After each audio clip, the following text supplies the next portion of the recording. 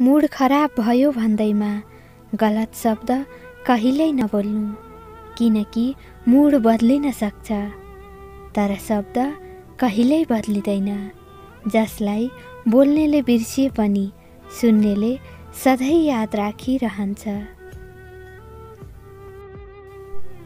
जिन्दगीलाई त्यो ठाउँमा पुर्याउनु छ जहाँ चर्चा मेरो होस् अनि गर्व मेरो आमा बाबालाई लागोस्।